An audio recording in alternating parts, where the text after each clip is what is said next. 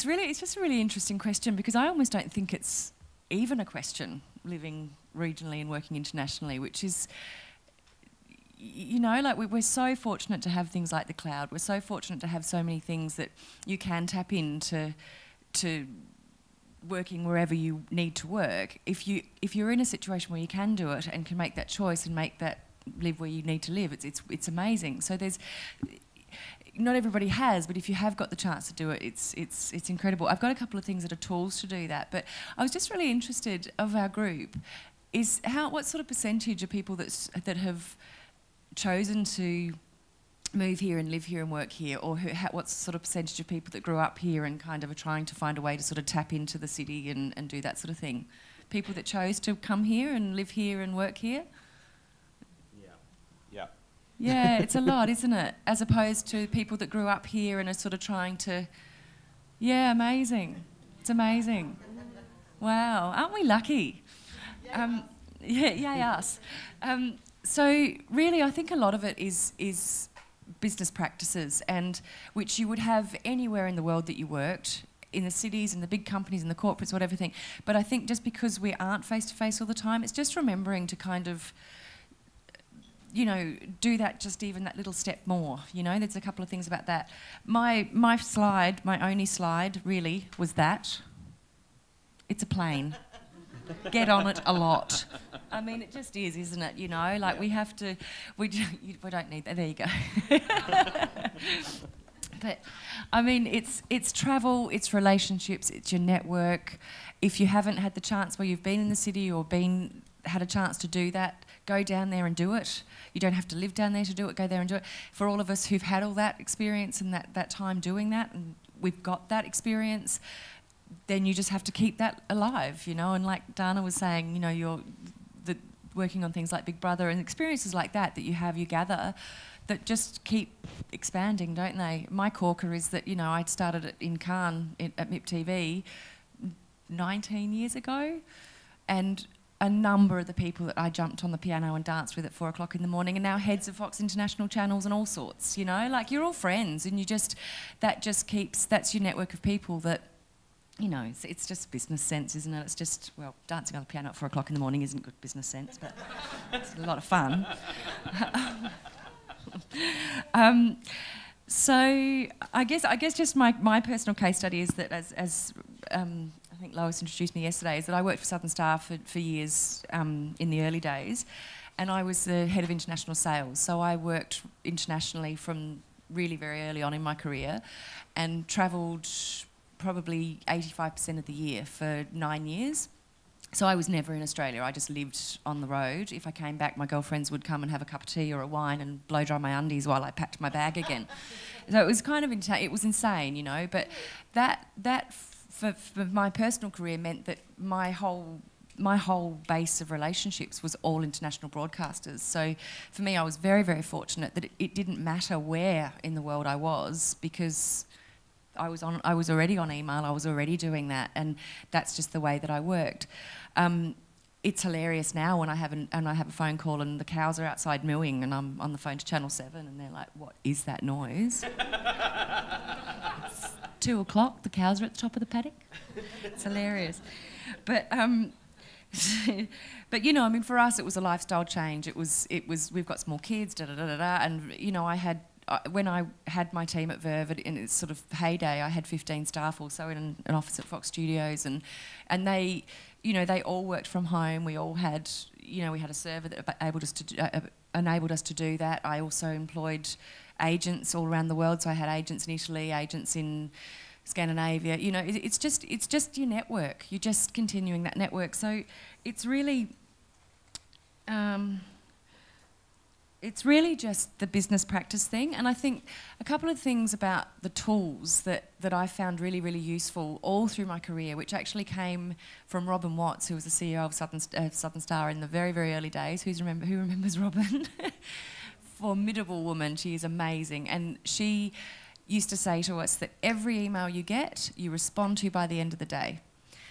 Every meeting you ever have, you respond to them within 24 hours just even if it's not the full response, just to thank them for their time, you you you're right in there, and that's just good business practice of successful people anyway, if that's the way they choose to do it. But I think when you're working regionally and you're not in the ability to be face to face all the time, those sorts of tiny little things just make such they're just important. You know, the other thing that Robin actually had us all do in the early days was a resubmit system. I mean, this is really just basic dumb work practices, but they're not dumb. But you know, and a resubmit system is so much easier to do now with your emails because you can tag everything, and you can, you know, everyone's obviously got their systems of how they remind themselves to do it. Back in the day, before that was all a- uh, able to do it, you know, we had a folder and we had one tabs one to thirty, and all of our follow up for everything we were selling, we would res- we would do it. We would have to write resubmit dates on it, put it in, boom. So every day you'd come in, you do your resubmits. You know, I mean, that's really good advice. You know, it's just it just means you don't forget stuff. You don't want to. You need to follow up when you're not there face to face, but it doesn't mean you need to be a pain in the neck. So do it properly.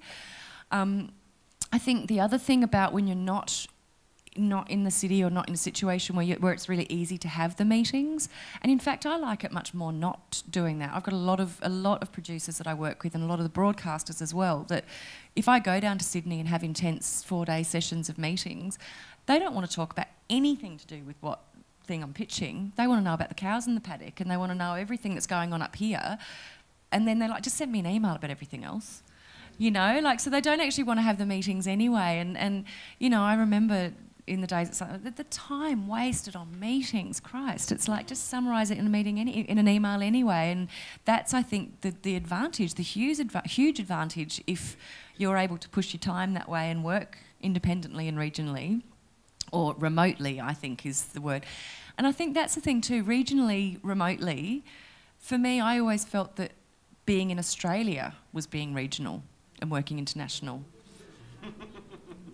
you know, it's not actually Byron, it's not the Blue Mountains, it's we're in Australia, we're miles away from everything. And, you know, and the time zone thing is awesome thing to consider, um, which I think most of my career, I've actually used that to my advantage because you can buy time really well with that, you know. But and I kind of pretty well made my whole reputation on being the jet lagged Aussie in Cannes. Like, you know, oh, there's Vic again, you know, she's always late, she's oh, whatever, but she's jet lagged, you know, we'll let her go. but you know, it's it, people love Australians and they love Australia and they love to hear from Australians. They love to come here. If you, there's anything, anything you can generate that there's work for them to be here, they want to be here.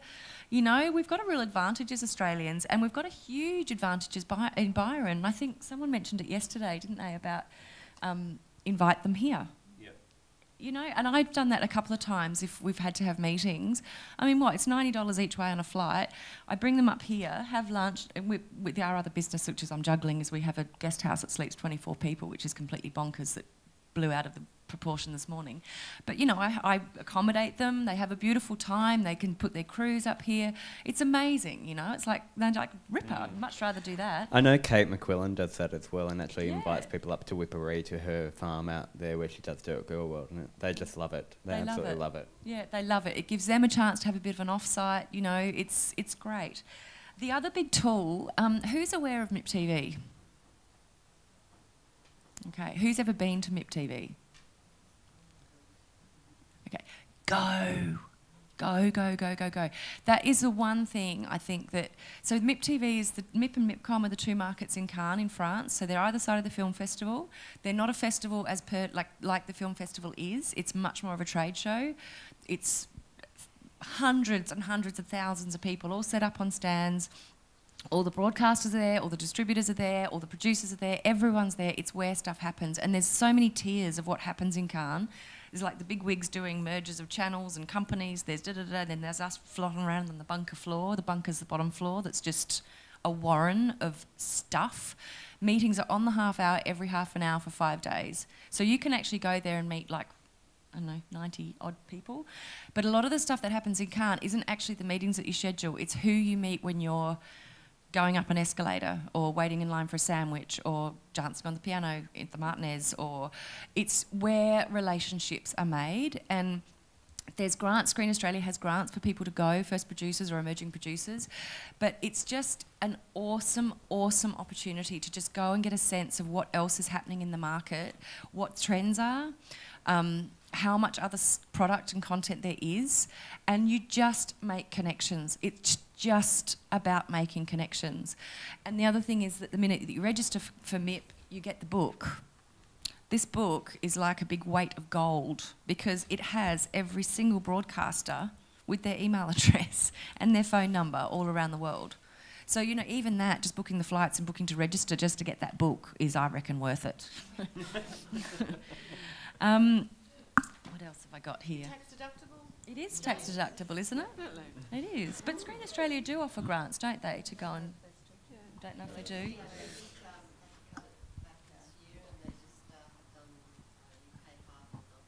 Oh, okay. Did everyone hear that? That's interesting. They, they have got a new system where they pay half and you pay half. But you know, I mean, it's you can get flights pretty reasonably to go. The accommodation you just share in with a few people, and you know, it's it's really really doable. And if anybody wants to go and needs some tips about how to get there or how to manage it, because it's pretty daunting. You know, if you've actually got a project and you do want to make meetings you do set your meetings up before you go, but there's also a hell of a lot of opportunity of what you can do when you're there. And they also have an amazing sessions and, you know.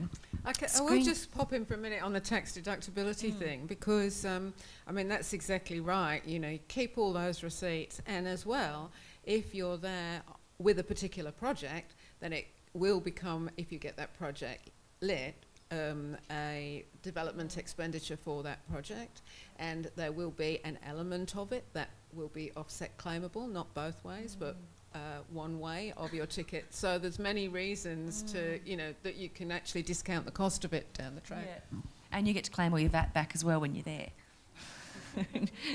um, uh, and also with Screen Australia, they do have the Australians at MIPCOM stand. So you can go under their umbrella and you can have meetings on their stand. You've got a base. They have cocktail parties, in, you know, on the Tuesday afternoon, and you get to meet. If it's too dawn, you can go out there and meet all sorts, you've got a real base there that's nurturing, and it's a it's a really good feeling. So I really, really, really recommend having a look into that.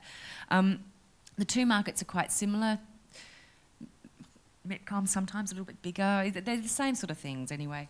Um, the other thing that I really recommend when you're travelling is just when, when you are travelling, anywhere you're travelling, just really, really, really look at the television guides. just study it. Just just get or just look online, you know, start to start to think again, you know, what what is popular in Switzerland? What is popular in England? What is popular in wherever, you know, because it's it's about trends as well. So that they will do that later on in the session this afternoon.